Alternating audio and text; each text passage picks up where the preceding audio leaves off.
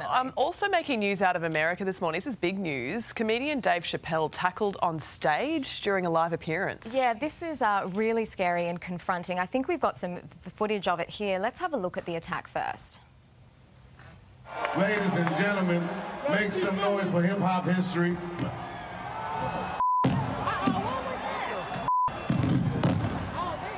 Look, That's police, unbelievable. It's pretty crazy. I mean, police say that he was armed with a fake gun, but it had a knife coming out of it. He didn't use the knife. Dave Chappelle is fine. This all happened at the Hollywood Bowl during an event. Several high-profile people were on stage.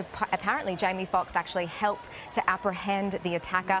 But the moment that everyone's talking about, funny man Chris Rock also was on the stage. He actually got on the mic and cracked a joke, asking if the attacker was Will Smith following mm. the incident. Wow. So, look, it's really interesting because part of Dave Chappelle's uh, set, he was talking about the Will Smith slap and the heightened threat that is being felt by comedians before this actually happened. My God. So And the huge security crazy. entourage that he now has to employ everywhere he goes. Absolutely, well. but even how did this guy get This through is a security Netflix, as this well? is a Netflix event. frightening. There's a big event they do every year. It's Netflix, for, uh, you know, laughing uh, comedy festival. Mm. Yeah. This should never have happened in the first place. And yeah, I think he's he's right in saying the Will Smith event has opened this up, and this is what comedians were frightened Definitely of. changed. right.